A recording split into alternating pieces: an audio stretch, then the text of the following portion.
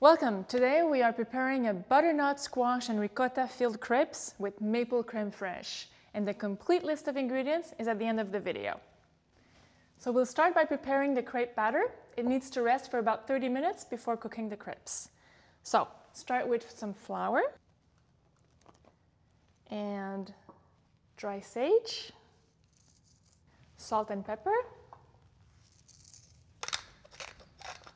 for the liquid, I have some 10% cream. I'm adding three eggs. And three. And simply mix it. And slowly whisk it into the flour mixture.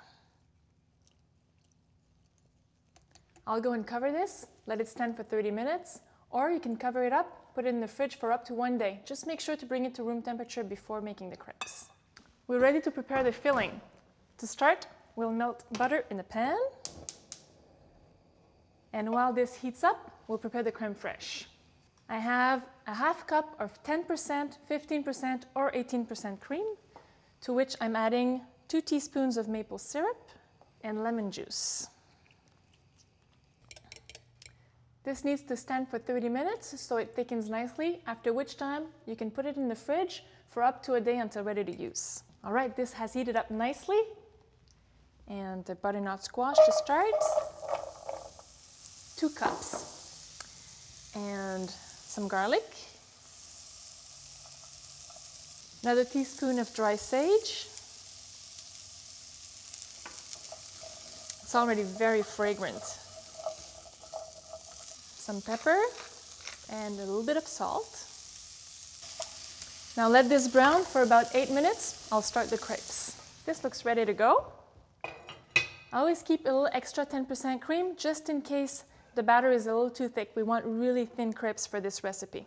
Another trick is to put the butter with a fork so you just have a small film in your pan. And what you want to do is spread the batter directly in the pan. After one or two crepes, You'll be just like a pro. These cook very quickly, 30 seconds per side.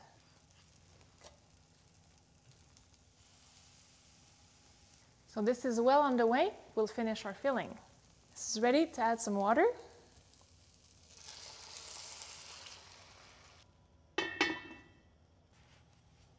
We'll make a few more crepes and we'll be ready to assemble. Perfect. The squash will be nice tender, ready to be mashed. And now for the ricotta and cream. Two crepes per person will be a perfect fall appetizer. It's simple to do, but still sophisticated when you bring it to the table. And simply fold it in four. This looks beautiful.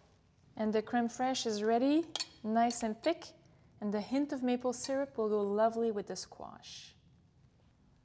Finish it off with fresh sage and just a lemon zest. Mm. Mm. The sage, the lemon, the creme fraiche, the maple syrup, it's perfect. Enjoy it.